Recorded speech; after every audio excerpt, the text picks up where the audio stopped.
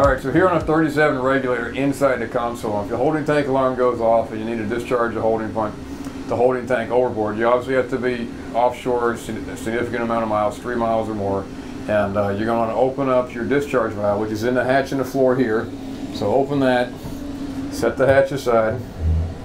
and it's this valve down down here right next to your bilge pump with a blue handle. So I'm going to open that valve